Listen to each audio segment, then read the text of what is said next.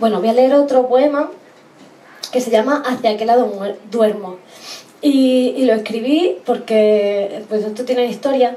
Em, me estaba maquillando para un vídeo que participé con una amiga y tal.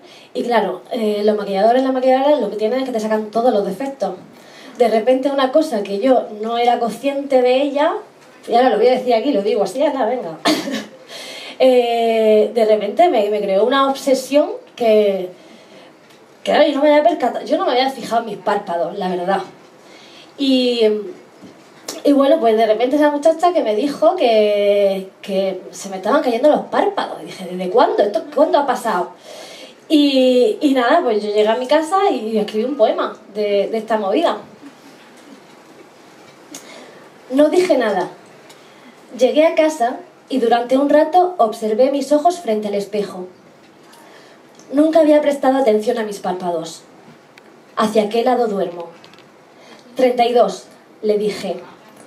Tienes la piel muy bien, a pesar de las patas de gallo, me dijo. Pero los párpados... Los párpados empiezan a caer. ¿Hacia qué lado duermo? Afirmaba que podía decirme incluso hacia qué lado duermo.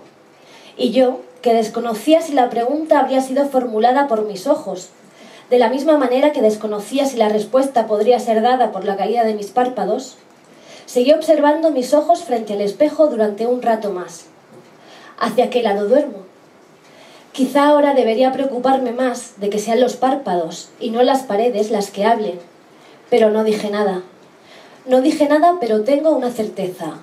En 32 años he debido reírme mucho hacia todos lados.